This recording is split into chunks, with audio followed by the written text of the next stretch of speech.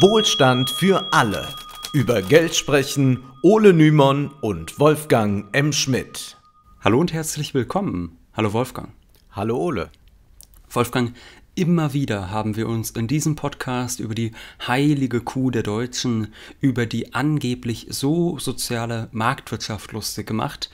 Wir werden uns nun in zwei Folgen diesem Thema widmen, damit wir dem Konzept gerecht werden und damit unsere Hörer die Kritik nachvollziehen können. Immerhin gibt es kaum einen Begriff, der in Deutschland so viele positive Assoziationen auslöst. Auf den können sich ja auch wirklich äh, Parteien von links bis rechts ganz genau gleich berufen. Marktwirtschaft, ja, aber in diesem Fall eine soziale. Was kann es denn da zu meckern geben?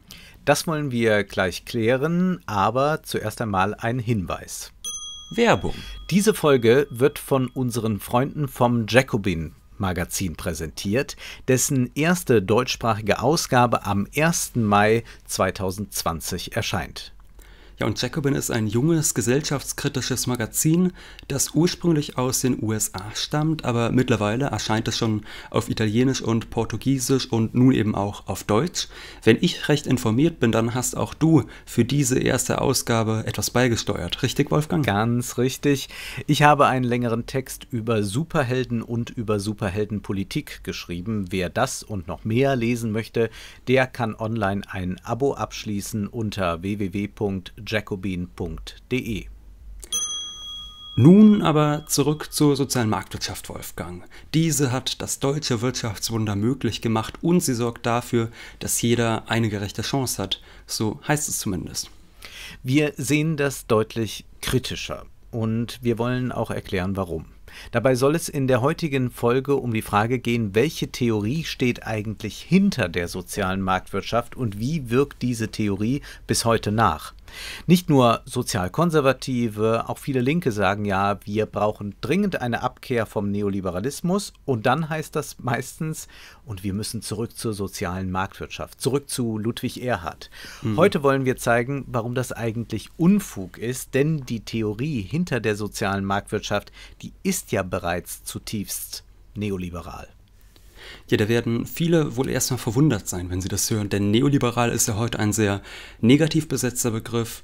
Äh, manche Liberale sagen ja auch, dass er ein Kampfbegriff, den die Linken benutzen, um Liberale zu diskreditieren. Aber tatsächlich gab es einmal, auch wenn es jetzt schon eine Weile her ist, Liberale, die sich selbst stolz als neoliberal bezeichneten. Und das ist jetzt also keine Fremdzuschreibung von Linken, dass die soziale Marktwirtschaft neoliberal ist. Zum Beispiel Alex Alexander Rüstow, einer der bekanntesten deutschen Liberalen des 20. Jahrhunderts, der schrieb im Jahr 1953, Zitat, das einzige, mir bekannte, konsequente, durchdachte, einheitliche und eigenständige wirtschaftspolitische Gegenprogramm auf unserer Seite ist dasjenige des sogenannten Neoliberalismus, der sozialen Marktwirtschaft, nach der glücklichen Prägung des kürzlich in das Bundeswirtschaftsministerium berufenen Kollegen Müller-Amack, das Programm, an dem meine Freunde und ich seit Jahren arbeiten, eine Gruppe, deren anerkannter Führer in Deutschland unser viel zu früh verstorbener Freund Walter Eugen war. Das Zitat ist bemerkenswert. Zuallererst haben wir hier also einen Ökonomen, der sich stolz als neoliberal bezeichnet. Die Hörer, die unsere beiden Episoden zur Geschichte des Neoliberalismus gehört haben, die werden sich vielleicht erinnern, im Jahr 1938 entstand dieser Begriff beim Kolleg äh, Kolloq Walter Lippmann in Paris und es war der eben zitierte Alexander Rüstow, der diesen Begriff prägte und der dann später stolz die soziale Marktwirtschaft als neoliberal bezeichnete. Und er erwähnte in der eben zitierten Passage auch Walter Eucken, der als vielleicht der wichtigste Ökonom der Freiburger Schule des Ordoliberalismus gilt. Also fassen wir kurz zusammen, das ist jetzt nämlich wirklich sehr wichtig. Es ist eine Gruppe von Liberalen, zum Beispiel Walter Eucken oder Alexander Rüstow, die haben starken Einfluss auf die spätere soziale Marktwirtschaft. Und um zu verstehen, was das jetzt eigentlich sein soll, eine soziale Marktwirtschaft, müssen wir also erst einmal mehr über genau diese Liberale wissen, die sich selbst als ordoliberal bezeichneten.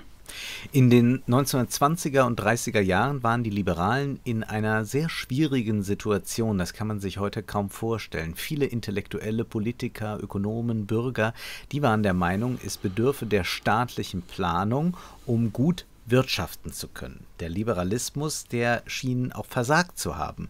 Übrigens ja nicht nur in Europa, sondern auch in den USA. Präsident Roosevelt kam ja mit seinem New Deal in den 30er Jahren und auch er setzte damit auf starke staatliche Eingriffe, um die Wirtschaft anzukurbeln und den Wohlstand auch für die Ärmeren zu mehren. Ja, und vor allem der alte Liberalismus, der sogenannte laissez-faire Liberalismus, der Eingriffe in den Markt als allgemein schädlich ansah, der war diskreditiert. Eine neue Schule, die sich dann in Deutschland herausbildete, war eben die des Ordoliberalismus. Ordo ist das lateinische Wort für Ordnung und der Name ist auch Programm. Denn der neue Liberalismus sollte nicht, wie der alte, jede staatliche Intervention ablehnen. Nein, stattdessen wurde anerkannt, dass Märkte nur dann funktionieren können, wenn es einen staatlich überwachten Wettbewerb gibt. Der Staat soll die Wettbewerbsordnung garantieren.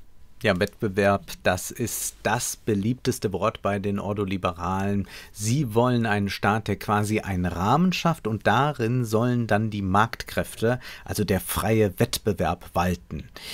Wir alle wissen ja, Konkurrenz und gesunder Wettbewerb, das belebt das Geschäft, so heißt es immer wieder. Dahinter steht die Idee, durch Wettbewerb, durch Konkurrenz müssen Unternehmen innovativ bleiben, sie müssen sich weiterentwickeln, denn wer nicht immer auf dem neuesten Stand ist, der wird vom Markt verdrängt. Und wer innovativ bleibt, der produziert bessere Produkte, alles wird effizienter, auch kostengünstiger. Und es geht dann allen Teilnehmern dieses Wirtschaftslebens besser, also auch dem Kunden. Deshalb lautet das Motto Wettbewerb, Wettbewerb, Wettbewerb. Und nochmal Wettbewerb. Das ist recht verständlich und ergibt Sinn. Das Problem ist natürlich, dass Unternehmer ja vielleicht gar keine Lust darauf haben. Sagen wir zum Beispiel, zwei Unternehmen konkurrieren um die Gunst der Konsumenten und sie wollen deshalb immer billiger als andere produzieren.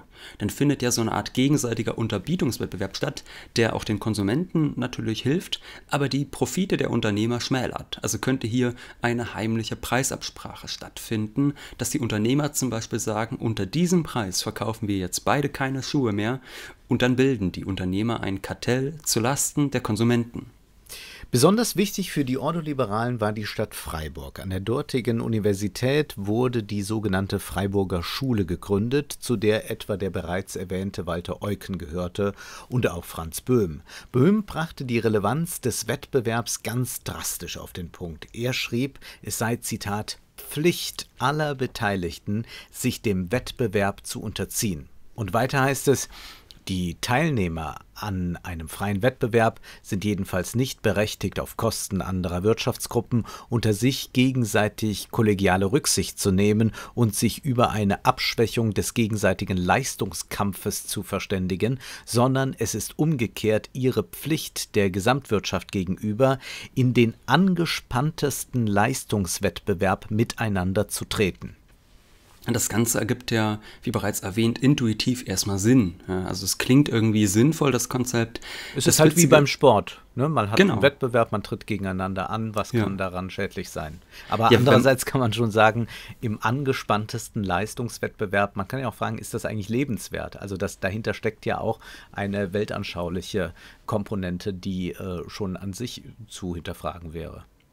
Ja, natürlich, aber man würde jetzt vielleicht sagen, wenn man die 100 Meter sprinten soll, das spornt einen das nochmal so richtig an. Ja. Wenn wir beide gegeneinander antreten, Wolfgang, dann spornt mich das so richtig an, wenn du mitmachst. Und äh, von daher ergibt es erstmal intuitiv Sinn. Mhm. Das Witzige ist aber tatsächlich, dass dann später, also jetzt überspringen wir mal ein paar Jahrzehnte, dass der Erfolg der späteren Bundesrepublik ja gerade darin bestand, dass es nur einen eingeschränkten Wettbewerb gab. Also ja. manche Hörer, die kennen vielleicht den Begriff Deutschland AG. Damit war gemeint, dass es eine sehr enge Verflechtung zwischen der großen Industrie, den Großbanken und den Versicherungsunternehmen in der Bundesrepublik gab, wo auch, äh, sage ich mal, Vertreter der Großunternehmen beim jeweils anderen Großunternehmen in den Aufsichtsräten sa saßen und so weiter und so fort. Das heißt, man kann durchaus sagen, dass die Bundesrepublik genau deshalb erfolgreich war, weil es nicht nur Wettbewerb gab, sondern auch eine bestimmte Form der Kooperation.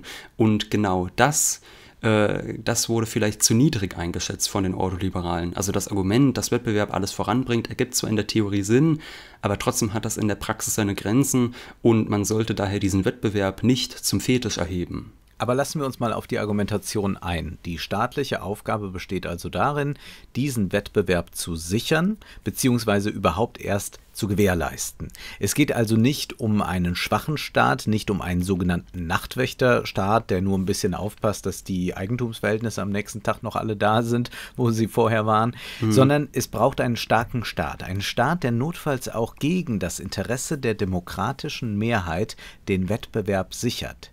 Es könnte ja zum Beispiel auch sein, dass die Bevölkerung gar keinen Kapitalismus will Tatsächlich waren ja, wie schon am Anfang erwähnt, weltweit viele Menschen von der Notwendigkeit einer Planwirtschaft überzeugt. Das kann man sich heute auch wenig vorstellen. Mhm. Allzu viel Demokratie konnten die Ordoliberalen also nicht befürworten. Da war immer diese Angst. Es ist ganz wichtig, das festzuhalten. Die Ordoliberalen waren freundlich gesagt, sehr demokratieskeptisch und haben sich immer wieder gefragt, wie sie bestimmte ökonomische Entscheidungen der demokratischen Wahl entziehen können.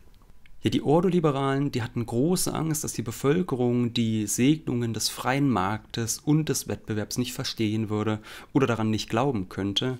Und dann könnte diese Bevölkerung ja natürlich auch bei freien Wahlen, bei freien demokratischen Wahlen für eine Wirtschaftspolitik stimmen, die gar nicht dem Leitbild der Ordoliberalen entsprach. Und das wäre natürlich ein großes Problem gewesen, weshalb es auch eine sehr große Verachtung äh, der Ordoliberalen gegenüber der Bevölkerung gab. Es gibt ein neu erschienenes und wirklich großartiges Buch von Thomas Bibbricher und Ralf Ptack, das heißt Soziale Marktwirtschaft und Ordoliberalismus zur Einführung.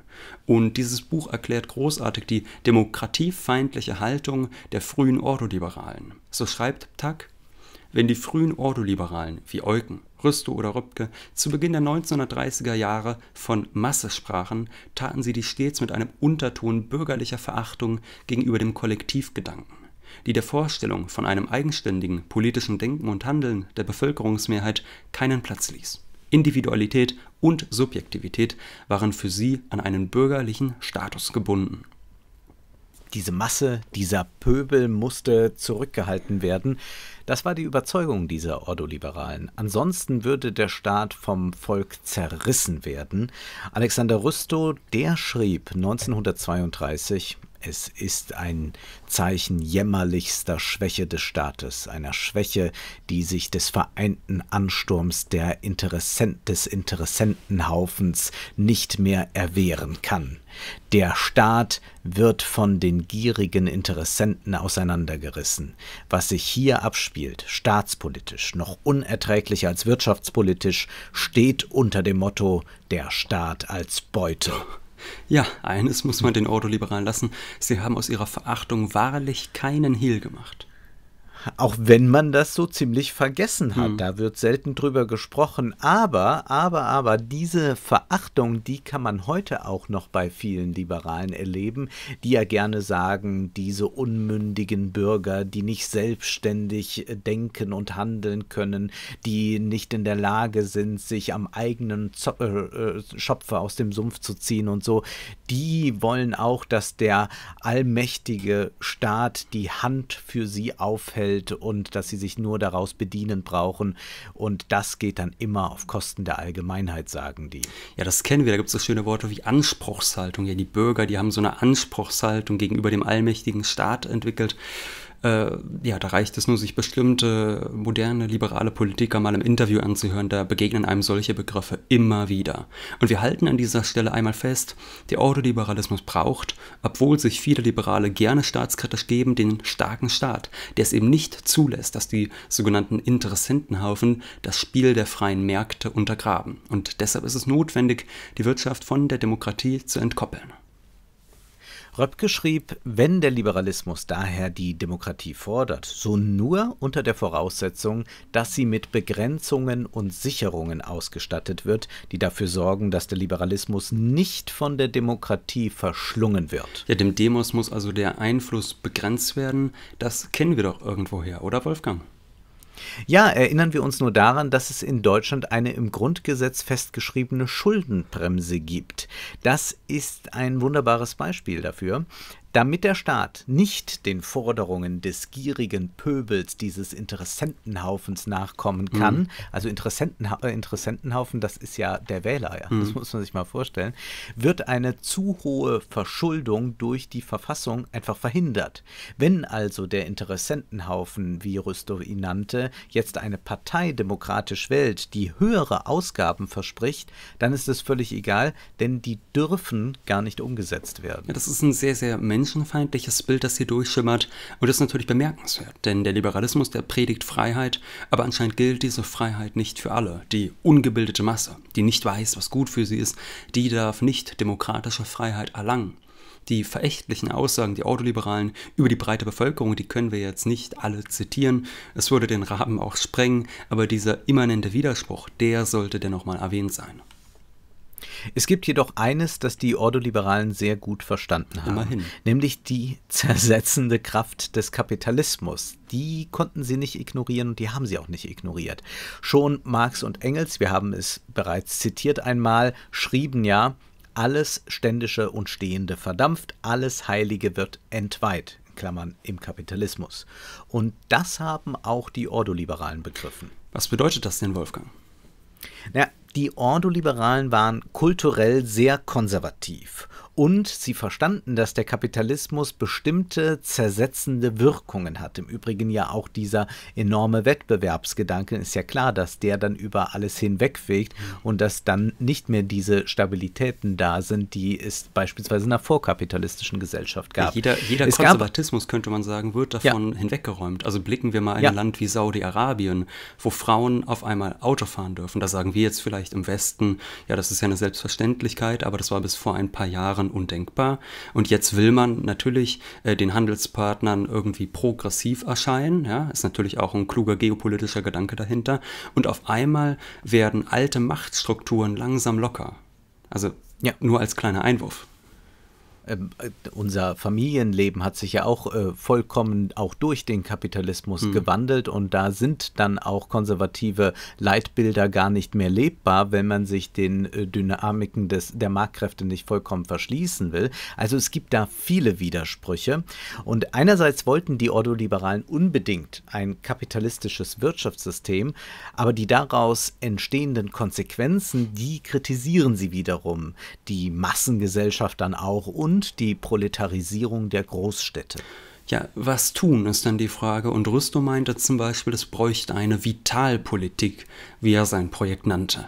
Er wollte sogenannte Halbbauern oder Industriebauern, die einerseits einer industriellen Lohnarbeit nachgingen, aber andererseits ein Eigenheim mit dazugehörigem Grund und Boden hatten, sodass sie dann selbst landwirtschaftliche Produkte anbauen konnten. Die Idee dahinter, wenn so ein Industriearbeiter dann entlassen werden würde. Ja, das kann ja mal schnell gehen, da tritt eine kleinere Krise auf den Tag und dann sagt mhm. der Chef so, morgen brauchst du nicht mehr zu kommen. So ist es ja im ganz freien Markt, ne? wenn man wirklich sagt, hire and fire und am nächsten Tag bist du raus. Dann hat man aber immerhin noch seinen eigenen kleinen Garten und kann sich selbst versorgen. Das ist eine sehr putzige Vorstellung, mhm. muss man irgendwie auch sagen, gerade jetzt aus der heutigen Perspektive, wenn wir mal blicken, wie wirkmächtig die Dynamiken des modernen Kapitalismus sind und äh, dass das ja auch ein äh, doch recht äh, hilfloses Konzept ist, um das Ganze dann ein bisschen abzufedern. Ja. Aber wir müssen hier festhalten, das ist also eine sehr widersprüchliche Haltung. Zwar war es fortschrittlich, dass die Ordoliberalen im Gegensatz zu manch anderen verstanden haben, wie pro brutal der Kapitalismus sein kann. Mit der Vitalpolitik sollte die Proletarisierung der Massen dann verhindert werden und auch sonst sollte das private Eigentum, etwa das eigene Haus, gefördert werden. Röpke sagte, wir machen die Proletarier zu Eigentümern. Ja, aber die grundlegende Dynamik des Kapitalismus, die wurde ja dennoch von den Ordoliberalen verehrt. Der Wettbewerb mhm. als höchstes Gut gepriesen, aber die Konsequenzen des Wettbewerbs, nämlich dass es auch Verlierer gibt, ist ja klar. Wo Wettbewerb ist, gibt es auch Verlierer.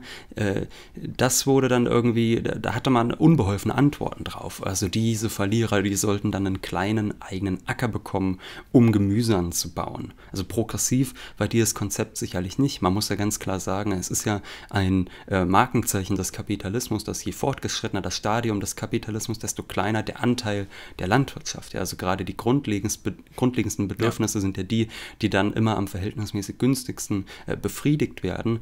Also man muss wirklich sagen, es war ein äh, zutiefst konservatives, wenn nicht sogar fast schon reaktionäres Konzept, sodass die grundsätzlich richtige Diagnose mit der völlig falschen Therapie behandelt wurde. Man kann also durchaus sagen, dass der Ordoliberalismus generell ein sehr konservatives Programm war. Einerseits mit einer großen Skepsis gegenüber der Demokratie, andererseits missfielen den frühen Ordoliberalen die kulturellen Auswirkungen des Kapitalismus, weshalb sie diesen mit sehr sagen wir, seltsamen Ideen wie der Vitalpolitik entgegenwirken wollten. Gut, jetzt wissen wir schon mal mittlerweile, was die Ordoliberalen alles nicht wollten. Sie wollten keine mhm. Wirtschaftsdemokratie, sie wollten ja die Demokratie und die Wirtschaft getrennt sehen und sie wollten bestimmten Auswirkungen des Kapitalismus durch kulturellen Konservatismus entgegenwirken. Jetzt bleibt aber die Frage, ja, wie sollte denn so eine ordoliberale Wirtschaftsordnung aussehen? Wir können nur natürlich nicht ganz viele verschiedene Konzepte der ordoliberalen Denker vorstellen, aber ein Hinweis, wie so eine ordoliberale Wirtschaftspolitik aussehen könnte, ist wahrscheinlich dennoch notwendig. Eines der bekanntesten ordoliberalen Konzepte ist das von Walter Eucken. Eucken war, wir haben es bereits erwähnt, Anfang der 1930er Jahre einer der Begründer der Freiburger Schule. Während des Nationalsozialismus konnte Eucken natürlich wenig auf die Wirtschaftspolitik einwirken. Tatsächlich stand er trotz seiner Professur eher oppositionellen Kräften nahe, aber auf die Nachkriegszeit und die soziale Marktwirtschaft hat er trotz seines frühen Todes, 1950 ist er schon gestorben, sehr stark eingewirkt gewirkt, weshalb wir seine sieben konstituierenden, konstituierenden Prinzipien, so heißt es, einer Wettbewerbsordnung vorstellen wollen. Ja, und sieben Prinzipien, da ist die Zahl wahrscheinlich auch kein Zufall. Sieben ist ja so eine ganz besonders kulturell aufgeladene Zahl. Und diese sieben Prinzipien. Ja, und sie ist auch märchenhaft aufgeladen, ja. ja. Und so war das mit dem Wirtschaftsmärchen Deutschland. Diese sieben Prinzipien, diese märchenhaften Prinzipien sollte der Staat durchsetzen, damit die Wirtschaft und vor allem natürlich der Wettbewerb florieren konnten. Und wichtig war äh, erstens ein funktionsfähiges Preissystem. Das bedeutet, Preise sollten sich frei bilden können, sodass Knappheiten in der Wirtschaft gut abgebildet werden konnten. Es war ja zum Beispiel so, äh, dass es im Dritten Reich ab einem bestimmten Punkt festgesetzte Preise gab. Zweitens, die Stabilität der Währung auch das ist ja relativ verständlich, wenn es immer wieder zu einer hohen Inflation kommt und das Geld der Bürger nichts mehr wert ist, dann begehren die irgendwann auf und dann wird das System instabil. Drittens der freie Marktzutritt. Es sollte jeder die Chance haben, Märkten nach Belieben beizutreten und sie wieder zu verlassen. Dazu kann zum Beispiel die freie Berufswahl zählen oder die Abschaffung von Zöllen im internationalen Handel. Die Hürden, um am Wirtschaftsleben teilnehmen zu können, die sogenannten Marktzutrittsbarrieren, die sollten möglichst niedrig sein. Viertens die Sicherung des Privateigentums. Wenn ein Unternehmer Angst haben muss, dass er morgen enteignet wird, dann wird er heute nicht mehr investieren. Und daher muss das Eigentum staatlich geschützt sein. Fünftens die Vertragsfreiheit, auch wenn es da natürlich Einschränkungen gibt. Für Kartelle gilt die Vertragsfreiheit dann selbstverständlich nicht. Sechstens eine Haftungspflicht, das heißt, dass Unternehmer zwar große Gewinne einfahren dürfen, aber eben auch dafür haften müssen, wenn ihr Plan nicht aufgeht und sie pleite gehen. Ist übrigens ein schöner Punkt, der sehr gerne vergessen wird. Ja, also hm. man äh, versucht ja Verluste auch dann äh, häufig zu sozialisieren, äh, lieber zu verstaatlichen, ja, ja und zu sozialisieren. Ähm, müsste man jetzt auch mal bei äh, Corona immer mal wieder dran denken, wenn äh, da manche Industriezweige äh, gerettet werden, wo man denkt, naja, lassen wir das. Und Siebtens die Konstanz der Wirtschaftspolitik. Wenn ein Wirtschaftsminister heute dies entscheidet und morgen jenes, dann werden die Marktteilnehmer nervös und es kommt zu Störungen des Marktes. Ja, und diese sieben Prinzipien, die sollten also gewährleistet werden durch den Staat. Äh, aber wie das dann wirklich passiert, ist natürlich eine andere Frage. Denn wir wissen ja, die Übersetzung einer ökonomischen Theorie in die Praxis ist ja das eigentlich schwieriger. Und hier sind wir bei unserem Thema soziale Marktwirtschaft angelangt. Die Ordoliberalen hatten zwar Einfluss auf die spätere soziale Marktwirtschaft, jedoch gab es auch einige Elemente, die den Anforderungen des Ordoliberalismus nicht entsprachen oder sogar diesen Anforderungen widersprachen. Der Sozialstaat der Bundesrepublik entsprach zum Beispiel nicht den Idealen des Ordoliberalismus. Aber du hast es eben gesagt, die Übersetzung einer Theorie in die Praxis, die kann eben nicht ganz reibungslos gelingen. Ja, nach dem Zweiten Weltkrieg, da haben das natürlich einige versucht. Also Politiker wie Ludwig Erhard zum Beispiel, die wollten eine möglichst freie Marktwirtschaft etablieren, aber da stießen sie auf so manche Hindernisse. Denn tatsächlich war die Grundstimmung in der deutschen Bevölkerung nach dem Zweiten Weltkrieg antikapitalistisch. Auch die Konservativen, die wussten gar nicht so recht, was sie nun für eine Wirtschaftsform überhaupt wollten. Ja, das ist ja das äh, eigentlich spannendste Kapitel, hm. äh, finde ich, zumindest in der Parteigeschichte der CDU, wenn man hm. dann mal nach Nordrhein-Westfalen blickt, wo die CDU ja heute ein bisschen anders aufgestellt ist, aber 1947, da gab es das sogenannte Ahlener Programm. Und die Konservativen, also die CDU, die wollte damit Kapitalismus und Marxismus überwinden, also wohlgemerkt auch den Kapitalismus. Und sie schrieben dann in dem Programm, das kapitalistische Wirtschaftssystem ist den staatlichen und sozialen Lebensinteressen des deutschen Volkes nicht gerecht geworden. Nach dem furchtbaren politischen, wirtschaftlichen und sozialen Zusammenbruch als Folge einer verbrecherischen Machtpolitik kann nur eine Neuordnung von Grund aus erfolgen ja, radikale Worte, die, wie wir wissen, folgenlos blieben. Dieser Flügel der CDU, der hat sich ja bekanntlich nicht durchgesetzt. Aber dennoch ist das Ahlener Programm sehr bemerkenswert, um zu zeigen, wie plural damals noch über ganz grundlegende Ideen, um, über ganz grundlegende Wirtschaftsformen gesprochen wurde.